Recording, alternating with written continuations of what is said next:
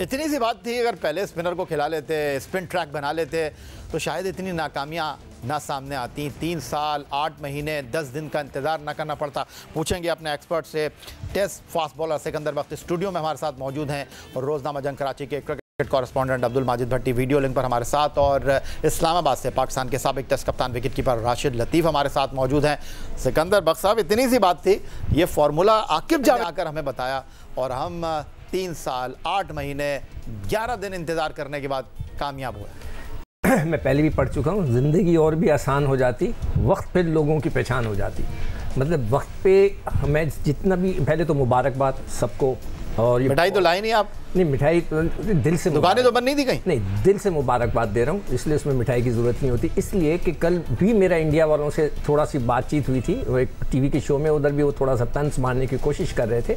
तो मुझे मेरे लिए बहुत इंपॉर्टेंट था इसलिए कि मैं उनसे प्रोग्राम्स करता हूँ उनके साथ कि पाकिस्तान जीते पाकिस्तान मेरा है पाकिस्तान मैं पाकिस्तानी क्रिकेटर हूँ ये हालात मुझसे देखे नहीं जा रहे थे। तो बहुत बहुत मुबारक हो और ये सारा ब्लेम मैं डालूँगा पुराने कप्तान ब्लेम ब्लेम ना डालें आज जीत की बात करेंगे। नहीं नहीं देखें बताने की बात यह है कि जो सेलेक्टर्स वहाँ रहे उनके ऊपर क्या किसी को नहीं पता था कि साजिद पाकिस्तान में मौजूद है? मैं बार बार पूछता था आप ही के प्रोग्राम में एक सेलेक्टर बैठ के कह रहे थे कि जनाब उसका हाथ गिर जाता है। अरे भाई हाथ गिर जाता है क्या मतलब वो आउट कर रहा है। नौ मैचों में तौसीफ अहमद की आप बात कर रहे हैं उनका फ़ोन आया था मेरे पास।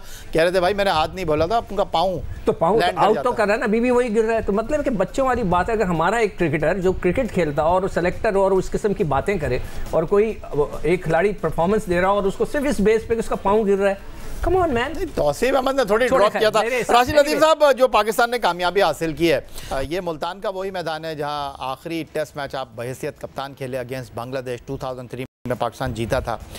ये तो पाकिस्तान क्रिकेट की रीत रही है स्पिनर्स के साथ स्पिन ट्रैक बनाकर मेहमान टीम को ट्रैप करना। इतनी सी बात को समझने में हमको इतना वक्त लग गया। जी, लग गया क्योंकि अमूमन होता ये है कि जब बैट्समैन कप्तान होता है, वो कोशिश करता है कि बैटिंग पिचेस बने स्पेशली इन पाकिस्तान। और आप देखें, जो मैचेस हुए जिसका मैंने ज़िक्र किया आपसे तो उसमें सारे कैप्टन कौन थे? बैट्समैन थे। जब फास्ट बॉलर होते हैं तो वो कोशिश करते हैं रिवर्स के लिए मुझे मिले या थोड़ी ग्रीन पिच मिले। तो इसीलिए इंटरफेरेंस बाहर से करनी पड़ी और वो की उन्होंने और टर्निंग पिच बनाई। कुछ प्लेयर्स टर्निंग पिच पे बहुत अच्छा नहीं खेल पाते और हमारे प्लेयर्स भी स्ट्रगल कर रहे हैं। नोट करें कि हमारे प्लेयर्स भी बहुत अच्छा नहीं खेले। सलमान अली आगा बहुत अच्छा स्पिनर्स को खेलते हैं। कामरान गुलाम बहुत अच्छा खेलते हैं। सऊद शकील अच्छा खेलते हैं। ये टॉप ऑर्डर हमारे जो है, थोड़ा सा स्ट्रगल ज़रूर कर रहे हैं। लेकिन मैच जीतने के लिए आपको ठीक है। तो राशिद लजीज साहब जिस तरह शान मसूद कह रहे थे कि ये जीत बहुत अहमियत की हामिल है इस जीत की हमें ज़रूरत थी और इस जीत के लिए हमने तीन साल आठ महीने ग्यारह दिन इंतज़ार किया। अब ये जीत तीसरे टेस्ट मैच में हमारे लिए कितनी अहमियत की हामिल होगी? देखिए जो बात की शान ने बात ठीक है कि मायूसी तो थी क्रिकेट हल्के में या क्रिकेट बोर्ड में प्रेशर था दबाव था। इवन मीडिया ने भी अभी छोड़ दिया था लोगों ने मैचेस देखना छोड़ दिए थे। लेकिन आज थोड़ा सा इंजेक्शन लगा है कि पाकिस्तान टेस्ट क्रिकेट में वापस आ सकती है और आ गई है। तो जब ऐसी जीत मिल जाती है तो ये फ्लूक नहीं होना चाहिए। तो आपको बैक टू बैक दो टेस्ट मैचेस जीते तो मजीद बेहतरी आ सकती है क्योंकि नेक्स्ट जो टूर है वो हमारा बड़ा मुश्किल है। तीन टी ट्वेंटी टी और तीन ओडीआई वो ऑस्ट्रेलिया का है।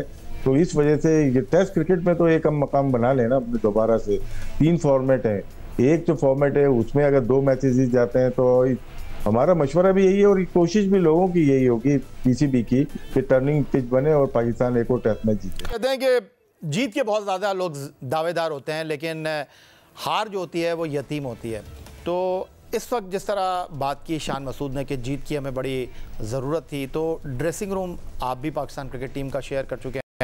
कई नाकामियों के बाद आप ड्रेसिंग रूम गए हैं जीत के बाद भी ड्रेसिंग रूम गए हैं तो आप इसको किस तरह डिस्क्राइब करेंगे कि इस जीत के बाद जो है ये वही टीम है जिसको बड़ी तनकीद का सामना करना पड़ा था, लेकिन अब ये मुल्तान से इस्लामाबाद के लिए एक जीती हुई टीम की हैसियत से ट्रैवल करेंगे। तो एक रिलैक्स हो जाता है ना बंदा, एक जो जहनी दबाव था मतलब एक नाउमीदी थी मुझे ऐसा महसूस हो रहा था कि जो पिछली टीम में दो तीन लड़के जिनको रेस्ट दिया गया है, वो सब मिला मिलो के थोड़ी सी नाकामी सी, थोड़ी सी फ्रस्ट्रेशन सी थी। मगर अब I am hundred percent sure कि सब एकदम से जोश आ जाता है, जो टीमें होती है, उठ के खड़ी हो जाती हैं, सारे लड़कों में जज्बा पैदा हो जाता है। तो आई एम श्योर कि वो एक अच्छे अप्रोच के साथ वहाँ पहुँचेंगे और टर्निंग विकेट हुई तो इन आप देखिएगा, ये टेस्ट मैच भी पाकिस्तान जीत सकता है।